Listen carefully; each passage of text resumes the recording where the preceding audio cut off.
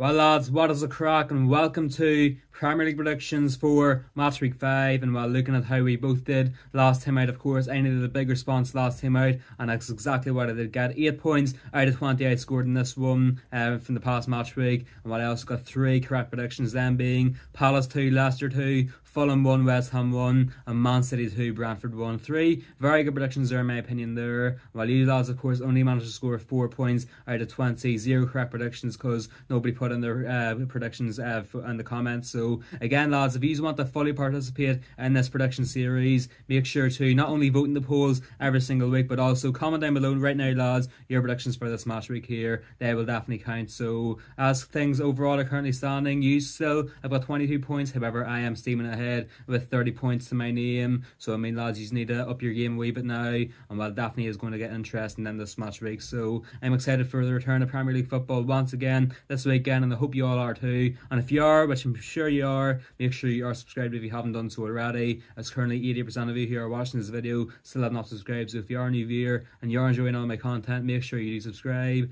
Also, make sure to like the video to really help and support the channel. Also, make sure to click the bell so you never miss one of my latest uploads. So, then let's get into this Premier League predictions for match week 5.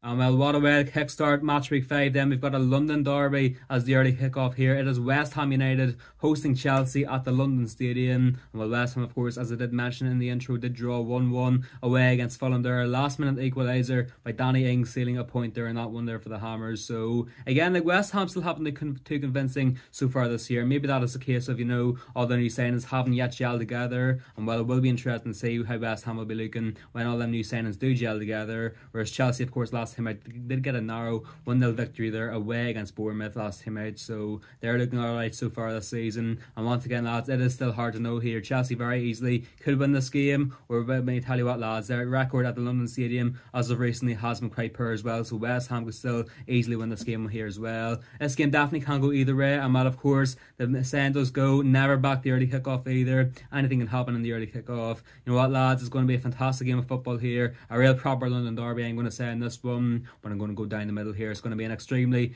entertaining 2 all draw here at the London Stadium. I'm going to go with, I'm going to say 1 0 half time to the Hammers in this one. I'm going to say, with about half an hour gone in the match, that the Greek centre back Konstantinos Mavropanos will score a bullet header in past Robert Sanchez. He had a very good um, game against Bournemouth last time out, and well, it will be 1 0 to West Ham at half time thanks to that bullet header from the Greek centre back. However, then in the second half, I'm going to say Chelsea will come out all guns ablaze, and 10 minutes gone, I'm going to say Noni Madueke will equalise here in this one. And with about 15 minutes left in the match, then Jadon Sancho, a player who looked fantastic in his first game for Chelsea, coming off the bench, he will score the what looked to be the winning goal here in this one, putting Chelsea 2 1 up then with about 15 or so minutes left in the match. However, I'm going to say West Ham will do what they did last week and they will come back right at the death here in this one. In injury time, I'm going to say Crysencio Summerville will manage to get a last minute equaliser here in this one, saving what is going to be a massive point here in the end for Julian Lopetegui side. So West Ham 2, Chelsea 2 is what I've gone with here in this London derby. Chelsea probably will be the better side, in my opinion, but I do believe here, lads, West Ham will be clinical and will just about manage to salvage a point here from this one in this London derby. As we head now to Villa Park for a Midlands derby, it is Aston Villa hosting Wolves. And while Aston Villa, of course, it's been an amazing past week for them, of course, you know, coming from 2 0 down to defeat Everton 3 2 last time out there at Villa Park, thanks to a, a screamer from Jhon Durán to win that game there, really. And will follow that up then by opening up their Champions League campaign with an extremely comfortable 3 0 victory in Switzerland away against Young Boys. Should have been 5 0 if it wasn't for the disallowed goals, but still, what a world class performance there by Aston Villa in the Champions League midweek. Wolves, on the other hand, of course, you know, they heartbreakingly lost 2 1 at home to Newcastle there, thanks to two unbelievable goals scored by the Magpies there, and followed up then by getting knocked out of the Carabao Cup midweek, losing 3 2 at the Amex Stadium away against Brighton, of course. So, yes, lads, here in this one, Wolves haven't looked great so far this season. Aston Villa, though, are looking like a world class side. It's going to be an extremely comfortable and easy 2 0 victory here. I'm going to for Aston Villa at home to their Midlands rivals. I'm going to say it will be 1 0 going into half time, although it's that goalless at half time actually, but early on in the second half, Ollie Watkins will manage to make it 1 0 here at Aston Villa, with the lead then getting doubled by John McGinn, John McGinn not too long after that. Then this one, Watkins and McGinn with the goals here in this one. Wolves once again will look quite poor in my opinion, and Aston Villa will continue what has been a fantastic run of form then for Unai Emery's side. So Aston Villa 2, Wolves nil is what I've gone with here in this Midlands derby. Moving on now to Craven Cottage, we have got Fulham hosting Newcastle United, and of course, as I just mentioned, Newcastle just about winning 2 1 last time out away against Wolves there, thanks to two unbelievable screamers from Fabian Schär and Harvey Barnes there. So, I mean, once again, Newcastle maybe aren't looking too great, but still, they are definitely scoring some amazing goals so far this season, and they are just about seeming to get over the line in a few games as well. So, it's going to be interesting to see what does happen here. Fulham, of course, and fantastic there to get a draw against West Ham. Probably should have won the game as well there, but it is is what it is. Though they still will be happy enough, I suppose, with the point. But then again, will be unhappy they couldn't just hold out for just a, just even less than a minute longer in that game. Like, but I mean, Craven Cottage here so far is looking like a bit of a fortress so far for Fulham. And while I do believe lads in Newcastle's current form, they are looking unconvincing. They definitely very well could be. This definitely very well could be a banana peel in the way for Newcastle, and it's going to be interesting to see how Newcastle do combat that possible banana peel. It's going to be a low scoring game, lads, but it's going to be an extremely tight game in that as well. But Newcastle, of course, you know, they have a decent enough defence there. Uh, I mean, I, am not too sure actually what to expect from this game here in this one. Um, but you know what, lads, I'm going to send Newcastle just scrape it here in this one. It's going to be an extremely narrow 1 0 victory here away from home. Bruno Guimaraes will score the only goal of the game here in this one. But lads, this game is going to be incredibly tight to call here. Fulham will play fantastic here. They'll probably be the better side as well here in this one. But Newcastle will get the goal here in this one. And well, after a very, very hectic, shaky 90 minutes of football, I'm going to send Newcastle will be thankful to escape Craven Cottage with all three points and tackling this one. So Fulham nil, Newcastle one. It's going to be an extremely tight affair with Newcastle just about taking all three points, but a definitely one will not do Fulham's good performance too much of a justice here in this one.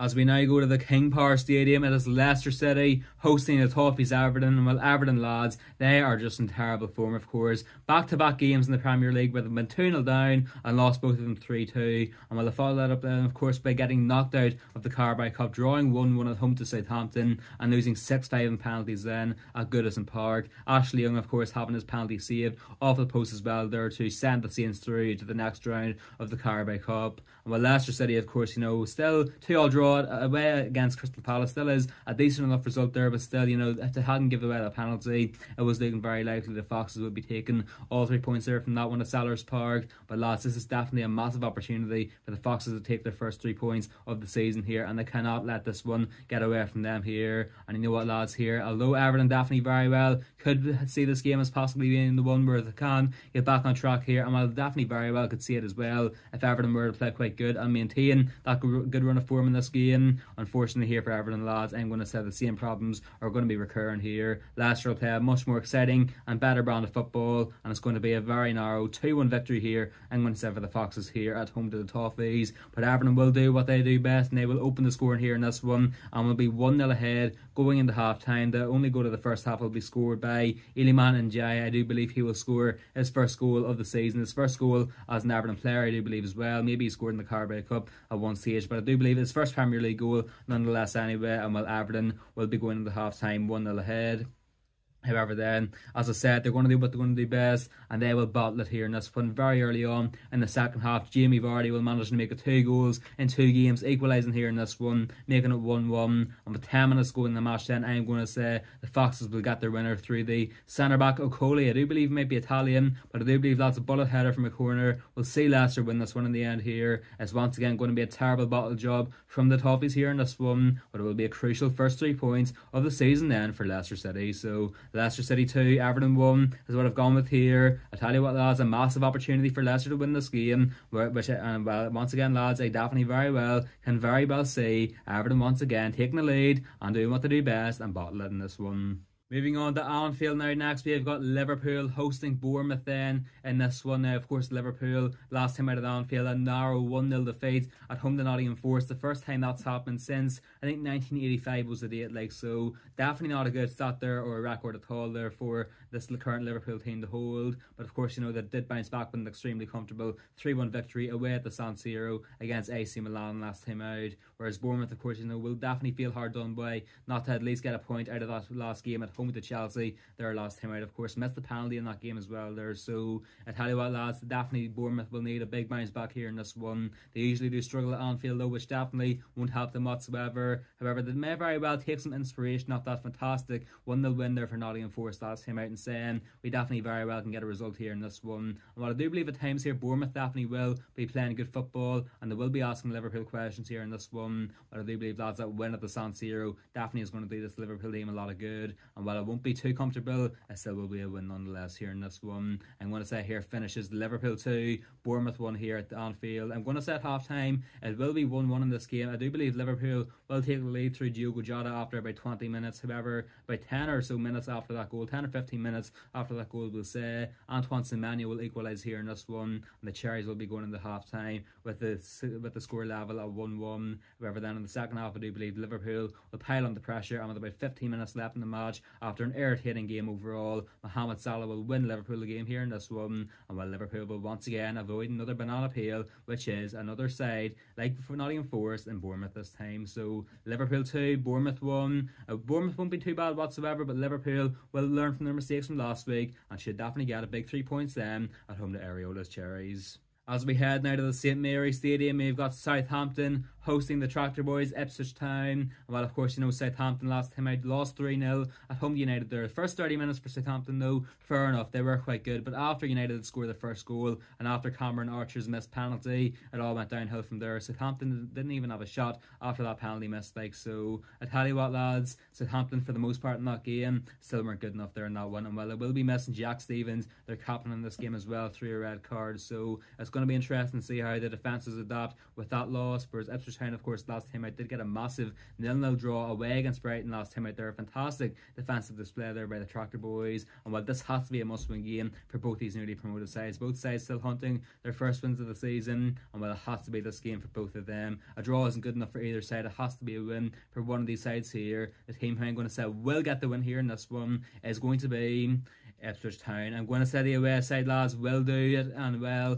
of course they won this uh, fixture one 0 last time out last uh, last season there in the championship. I'm going to say they do it once again here in this one. It's going to be a fantastic display and a three one victory. I'm going to say for the away side here at the St Mary Stadium. It's going to be one one at half time. Omari Hutchinson, the only player to score in this fixture last season, will score in this fixture again. He'll get his first Premier League goal and he'll make a one 0 end of the Tractor Boys here in this one. However, I do believe that Southampton will be going to half time with the score at level. I'm going to say the youngster Dibling, who was fantastic, I must say, in the first 30 minutes against United, with the youngster will manage to score his first Premier League goal as well, and his first goal for Southampton. And well, it'll be 1 1 then going into half time. A very handsome pair for sure here at the St Mary's Stadium, but I do believe that Ipswich character will shine through then in the second half. I'm going to say that Liam Delap will score his second Premier League goal to make it 2 1 here in this game, with the win now with about 5 minutes left in the match being sealed by super sub Conor Chaplin. I do believe lads here Southampton like they did against United are going to fade here in the second half. And while Ipswich definitely will be the very well deserved team to take all three points in this one and this massive possible uh, relegation six pointer as well. So Southampton won, Ipswich three is what I've gone with here at St Mary Stadium. Ipswich will be much more clinical. They'll be a better team as well. Southampton will be a good first half but a poor second half and a well deserved three points in my opinion in this one for Kieran McKenna's Tractor Boys.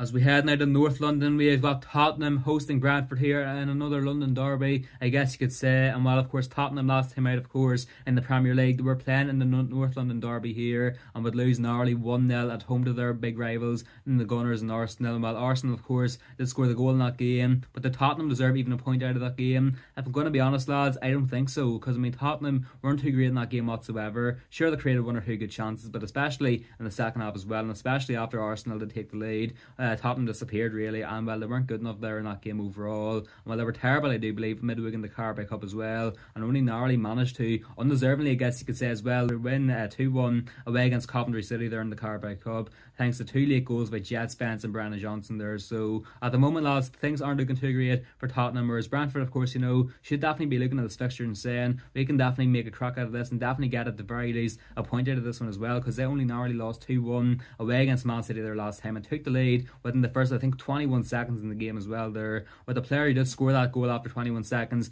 Yoane Wissa, is out to the end of November. So that is a massive loss there for sure there. So, I mean, that definitely is a big loss, especially in terms of goal scoring as well. Although still Brentford have had a, have had a fantastic start to the season. But Tottenham and Postecoglou will be demanding a massive response after two poor performances in a row. And I do believe that Tottenham are going to play good here in this one. Ange's men are going to uh, provide that good response here in this one. And I'm going to say the loss of base will be too much as well for Brentford. They won't really get up to too much when going forward the base in this one. And I'm going to say it will be a relatively comfortable 2 0 victory here for Tottenham at home to Brentford in this one. Both goals will come in the first half through Brennan Johnson, I do believe, the player who did score the winning goal there late on away against Coventry midweek, will score the opening goal here in this one, the Welshman, to make it 1 0. And then Dominic Solanke will score his first goal as a Tottenham player to make it 2 0 here in this one. I'm going to say nothing much will happen in this game, but Tottenham will defend quite well in this one, and I do believe lads it probably will be deserved. They, they will also be clinical, they will score the goals up top as well, and while I do believe lads Tottenham will be, will be the deserved team here in this one, they take all three points from this one. So Tottenham 2, Brentford nil, as we've gone with here then at the Tottenham Hotspur Stadium.